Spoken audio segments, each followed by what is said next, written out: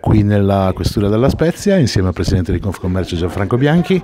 Oggi è una giornata particolarmente importante. Confcommercio ha donato 5 tablet alla Polizia di Stato che si è dimostrata molto contenta di questo, 5 tablet che verranno usati dagli operatori sulle volanti per poter accedere direttamente senza passare quindi dalla centrale operativa, intasando di richieste agli operatori direttamente sul territorio, quindi un intervento in tempo reale che la tecnologia oggi può consentire, una donazione importante fatta non a caso da Confcommercio che è impegnata in questo momento anche in un progetto di legalità molto importante.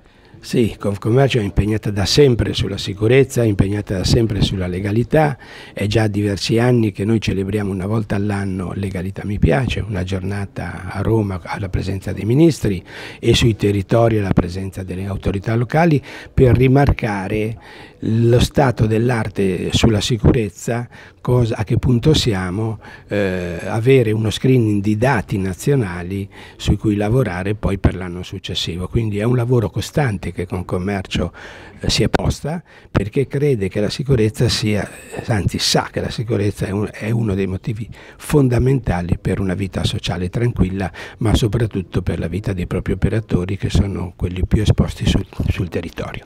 A tale riguardo abbiamo messo online il questionario che invitiamo a riempire entro il 31 ottobre, poi questi dati saranno, saranno, elaborati a livello provinciale, regionale e nazionale e il giorno del 21 novembre verranno presentati in un dossier alla presenza del Ministro e delle autorità a livello locale.